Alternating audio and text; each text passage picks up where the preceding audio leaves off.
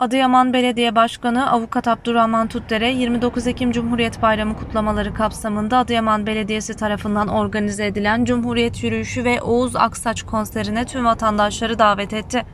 Ben bu vesileyle sizin aracınıza bütün Adıyamanlı hemşehrilerime, gençlere, kadınlara, Adıyaman Valilik Bahçesi'nde düzenlenen çelenk sunma töreni sonrasında açıklamalarda bulunan Başkan Tutdere, bayramın coşkusunu tüm halkla birlikte yaşamak istediklerini belirtti.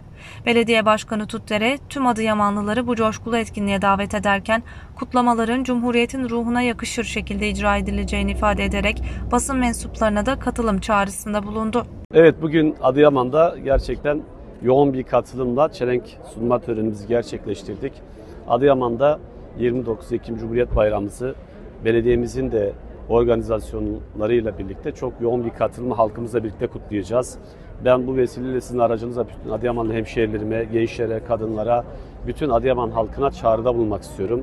Yarın saat 18'de Mimar Sinan Parkı önünde Cumhuriyet yürüyüşümüz başlayacağız. Kortejimiz oradan yürüyecek. Akabinde Demokrasi Parkı'nda Oğuz Aksaç'ın e, sunumuyla çok güzel bir halk konserimiz olacak. Bütün hemşehrilerimizi bekliyoruz. Hep beraber Cumhuriyetimize, demokrasimize sahip çıkacağız. Her ne kadar Türkiye'ye bir korku iklimi salınmaya çalışsa da biz birlik beraberlik içerisinde korkmadığımızı, Cumhuriyetimize, değerlerimize sahip çıktığımızı bütün Türkiye'ye, bütün dünyaya da göstereceğiz. Adıyaman halkı her zaman Cumhuriyetine sahip çıkmıştır.